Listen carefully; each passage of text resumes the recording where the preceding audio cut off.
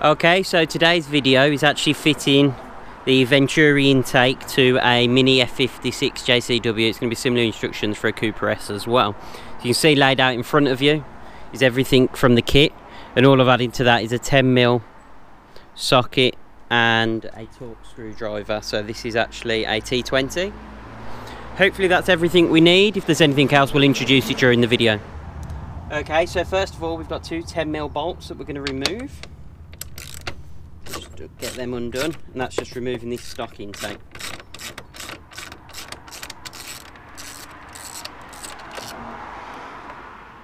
There's one bolt out.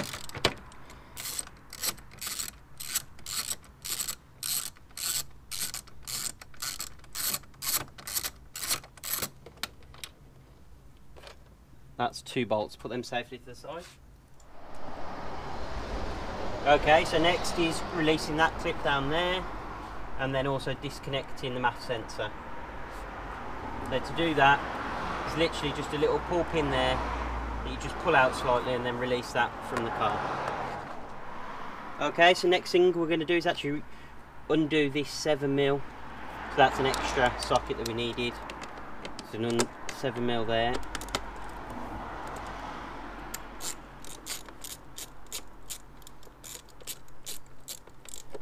Okay, so that's nice and loose. Next, we've got another 10mm socket over here. They're just on this right hand side down here. This is all to get the stock air box out.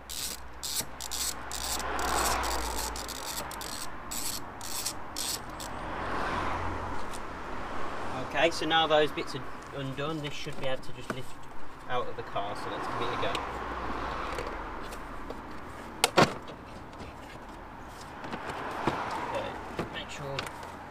Most of it's coming out.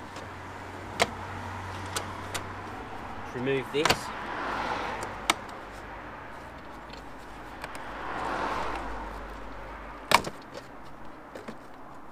That's that undone. Now we've got to do disconnect that hose there and the whole thing should now lift out. Okay, so the next step of the process is to actually remove the MAF sensor. So let's get that disconnected.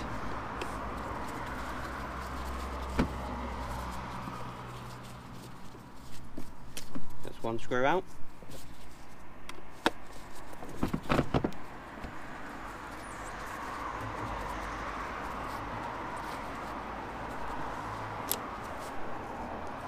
Two screws out. So one thing to note with the MAF sensor is there's an arrow pointing into there. That's where the airflow is going, So we need to make sure when we install it on the Eventuri that it goes the same way.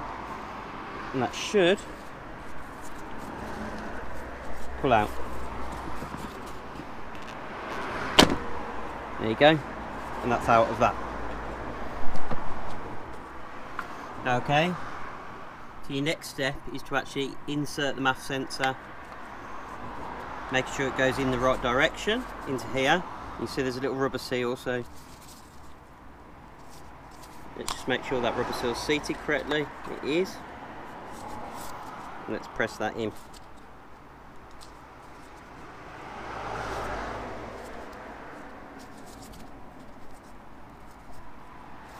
It takes a bit of work but there you go. That's in so you're making sure there's like a little band around here the thinner band as opposed to the thicker band here so the flow will be going that way. So just making sure you get that into the right direction. And then you use the su new supplied screws. You don't use the ones that you've taken out the stock airbox. You actually use the new ones which are the same torque size but slightly shorter to go into there. Okay so off camera there we've just inserted the supplied screws. So they actually come with the kit. And like I say they're a little shorter than the standard ones and a different type of thread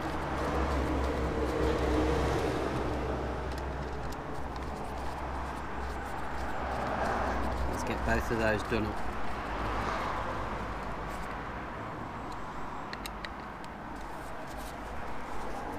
Okay, so our next step is actually fitting in the coupler. So we've got the logo facing the camera. We're going to loosen this off. So just use a 7mm socket to do that. so that we can get the rubber over the top of this.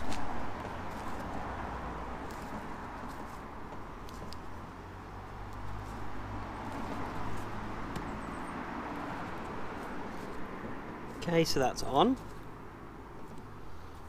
Then we need to get a MAF housing on and we need to make sure the arrow is pointing towards the engine. So that's got to insert into there. So again, we're going to want to loosen this off for 7 mil.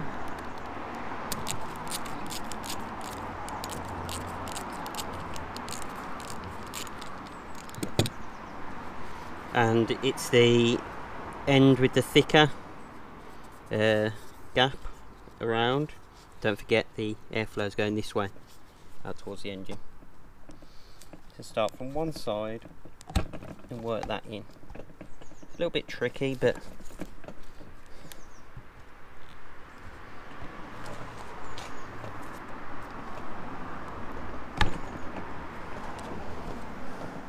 it may help with some washing up liquid to get this in, so we'll use that if this doesn't work.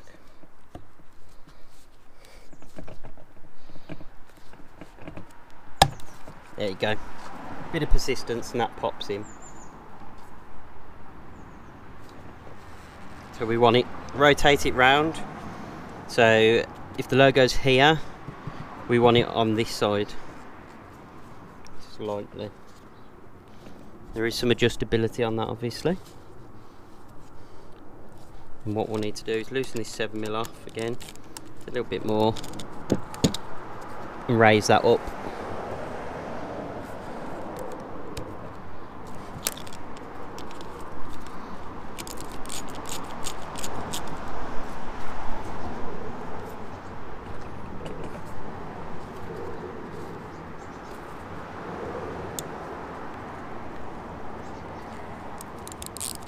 Then tighten that one off.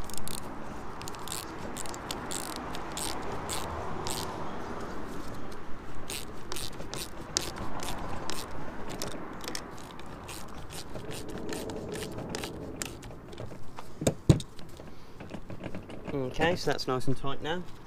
Clamped on. Yep, looks perfect. Okay, so the next bit is actually fitting uh, the front air intake. So we're using these same threaded bits and there's actually little holes on the bottom of this. And all they do is they slot on top of there. Let's insert that. And that's in place. We're not going to secure these yet. And that's a key point to remember because you're going to need some movement in this. So let's not secure this down yet. Okay, so one thing to note, you've got this rubber bung on the bottom of the air filter that rubber bung in a minute, when we say we insert it into the car, I'll show you where. If you see here, this white rubber bung, that's where that black one is going to insert when we put the air filter onto the car. It's going to be tricky uh, with no one else to hold the camera for me to show you that, so I thought I'd show you that before we do it. Okay, another step we need to do before fitting the new air filter is just remove this bolt here at the bottom of the battery box. So that's going to be used to fit the new air filter and bolt that in place. We need to remove that and then we'll need that again in five minutes.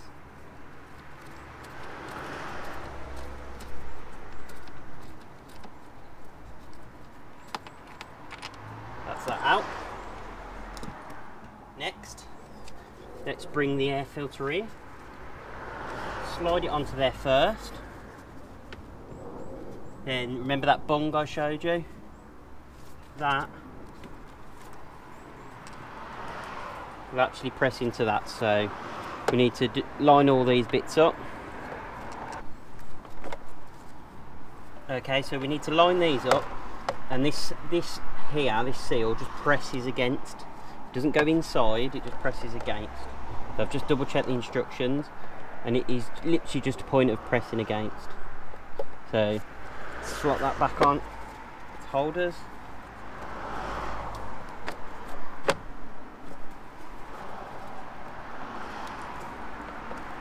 okay and we'll be able to adjust that in a minute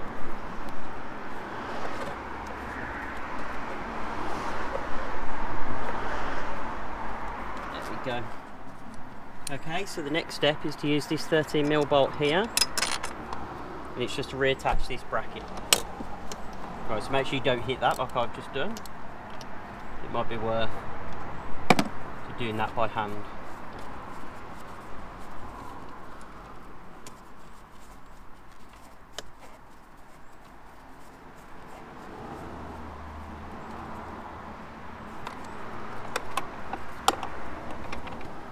That's sure that's in. And then just put that on just to give it a final tighten up.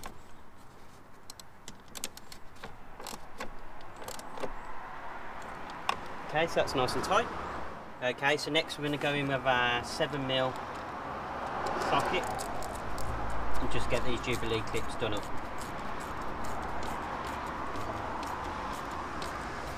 That's one. We're happy with that, we did that up earlier off the cart. So now, that should be sealed, that's sealed and that's sealed, so that's all in place. You need to reconnect your MAF sensor.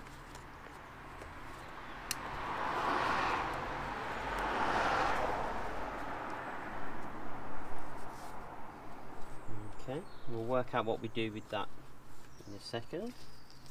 Let's just slide that down for now, just keep it out of the way for a minute.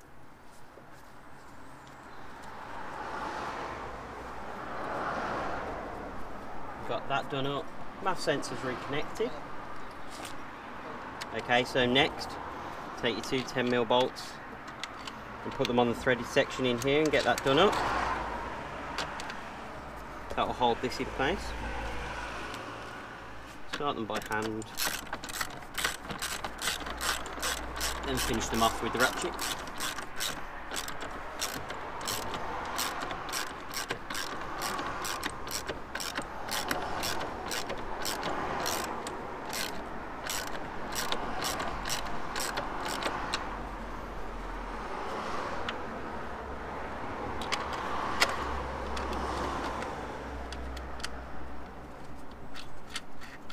That's that second one in. Let's get that done up.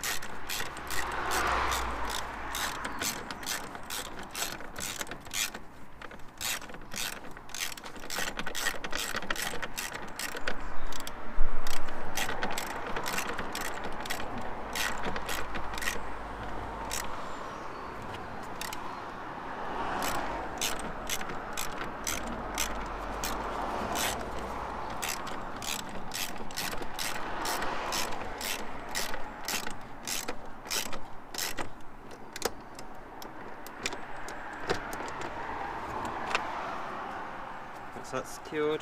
Get this one a bit tighter.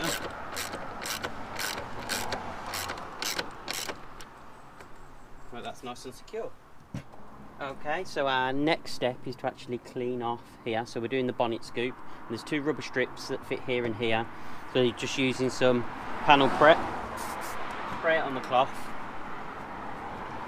Just give this area underneath this circle a good clean so we know there's no grease, grime stopping that rubber strip from sticking. And what that rubber strip will do is actually protect the carbon intake that you've just fitted so it doesn't get it marked from the bonnet. Okay, next, take the actual rubber strips themselves, peel the tape off the back, and then all we're doing is centralising them on that circle there, and sticking that in place. And we'll do the same on this side. So again, peel the rubber strips off.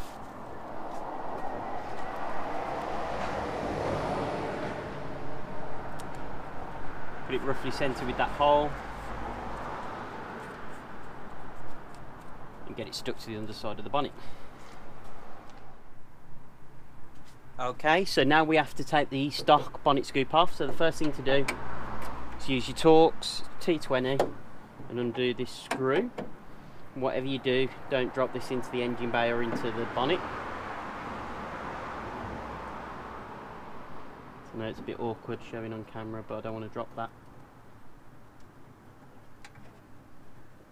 anywhere. Get that out. Okay, and then the back is actually held on by six little plastic clips. Um, so we'll work out the best process for removing those. Okay, so the new scoop actually comes with replacement clips, so you don't have to try and save these. So the th easiest way I found was taking these long nose pliers, putting them in the gap, you'll be able to see the white clip. Actually squeezing that and just compressing it until that clip breaks. And hopefully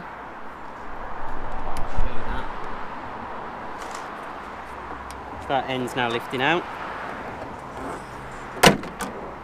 There you go, give it a bit of a push. Now it comes.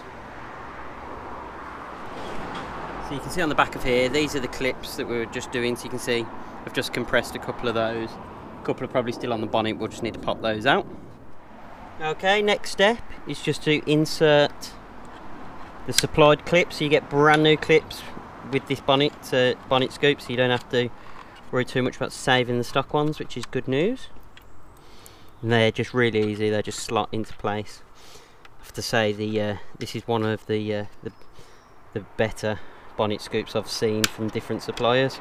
So the Leap ones are good.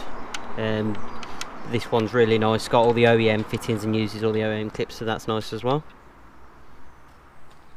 In the instructions it does say to check that there's not a bolt already pre-installed in this when it comes from um, Eventuri, so just make sure that's not in there. If it is, it says to remove it, so I thought I'd share that step with you because it's quite clear in the instructions. Now this is ready to go onto the car. Okay, so with your clips in place, you should be able to insert that onto the car. So it's really easy to line up all those screw holes. Know what you do. Press that into place.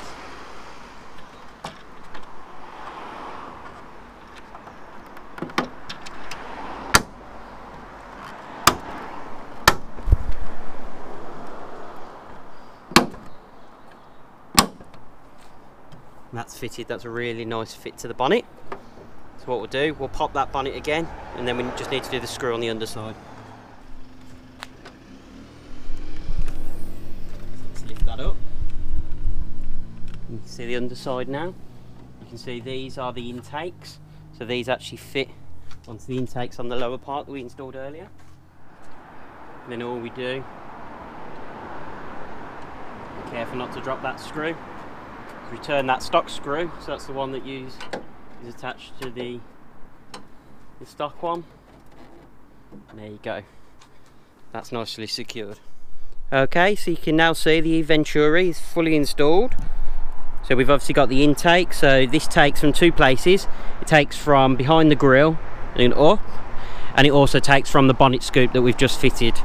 Then you come through that feeds it into the reversed inverted air filter that's in there You've got the MAF sensor installed, so that's all nicely done.